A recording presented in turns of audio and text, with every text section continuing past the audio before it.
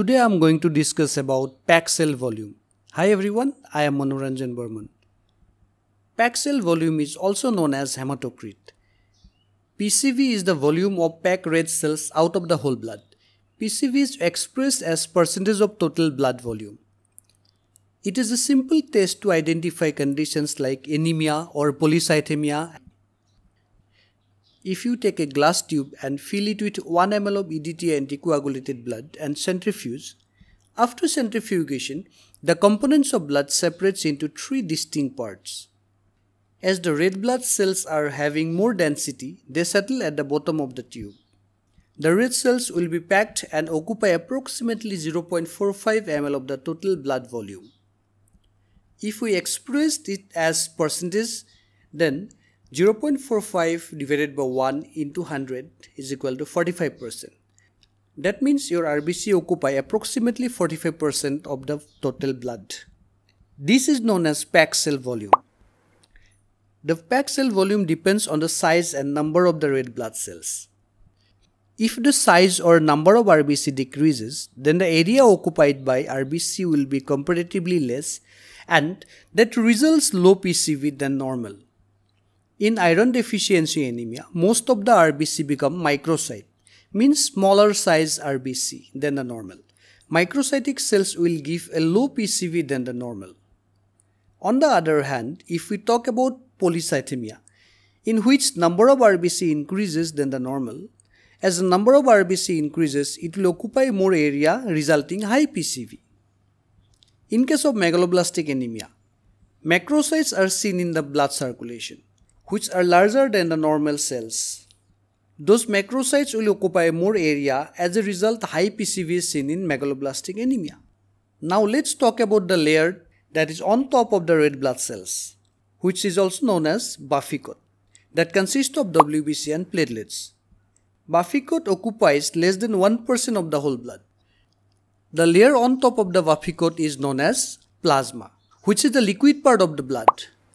Plasma consists of water and dissolved solutes. Around 90 to 93% water is there in the plasma and various solutes are dissolved in the plasma. Among the dissolved solutes, plasma proteins, basically albumin, globulin, fibrinogens are there. Electrolytes like sodium, potassium, chlorine, etc. Nutrients like glucose, amino acid, fatty acids are present in the plasma Enzymes, hormones, metabolic waste like urea, creatinine, uric acids are also present. Dissolved gases like oxygen, carbon dioxide, nitric oxides are also present in the plasma. Now I'm going to talk about the methods. PCV can be done by two methods. Macrohematocrit method, where we use Wintrobe's hematocrit tube. And microhematocrit method, where we use heparinized capillary tube or plain capillary tube with EDTA blood. When there is difficulty in drawing sufficient amount of blood, microhematocrit method is used, particularly in pediatric patients. First, I'll talk about PCV by macrohematocrit method. Let's talk about the clinical significance. Increased hematocrit is seen in polycythemia, dehydration, emphysema. Smokers and COPD patients also have high PCV due to chronic hypoxia.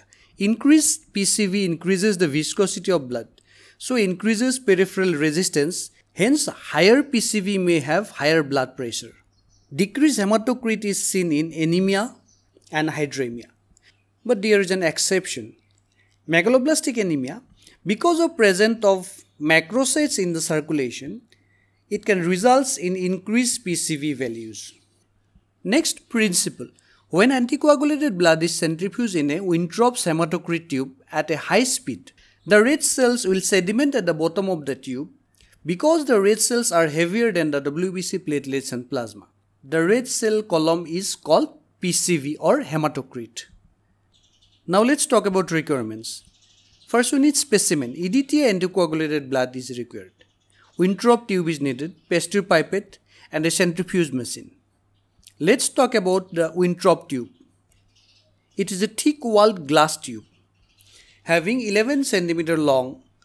The internal diameter of the Wintrobe tube is 3 mm.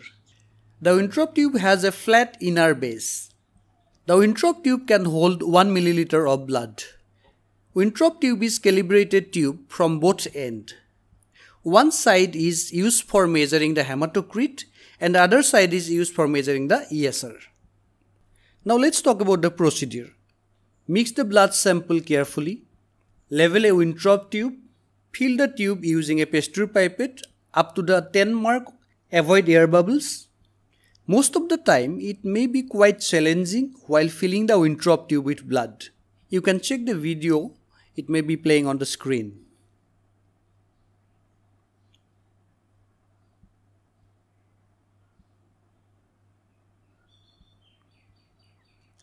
Place the tube in a centrifuge and balance it with another Wintrobe tube which is filled with blood.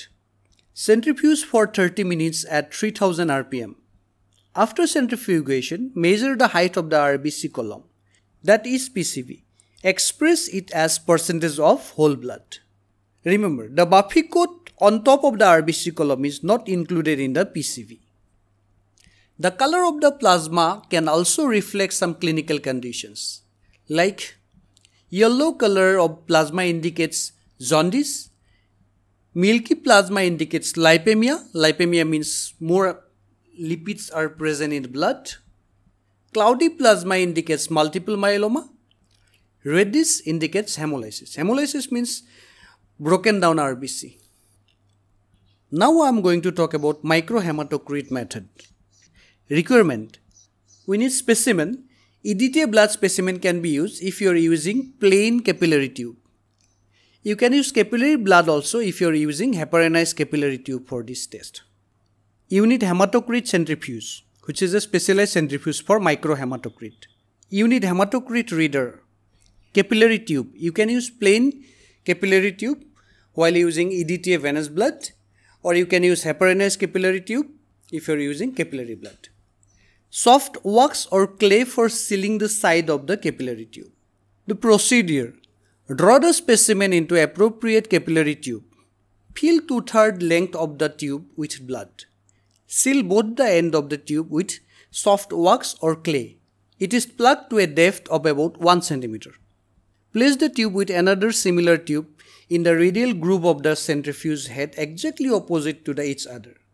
Close the centrifuge cover and centrifuge the tubes at high speed of 15,000 rpm for 5 minutes.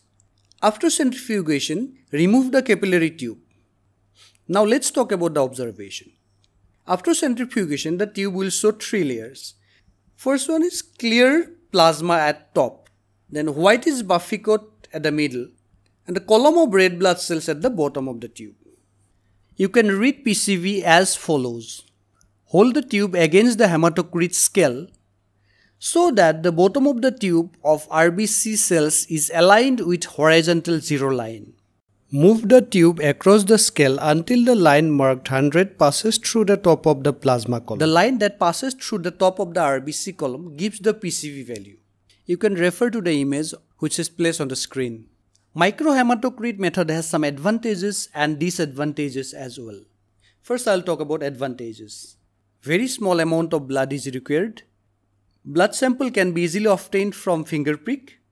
Time required for centrifugation is very less Disadvantage it requires a special centrifuge and reader. Now coming to the end part that is interfering factors of PCV. There are several physiological conditions where hematocrit may deviate from its normal range. Newborn baby shows high hematocrit values. It gradually decreases. Adult male has higher hematocrit values than adult female. Pregnant women shows lower hematocrit due to hemodilution. Persons living in high altitude can have higher hematocrit as the number of red blood cells becomes high due to the persistence hypoxia. Please like, share and comment and those who are new to my channel, please subscribe to my channel. Thank you.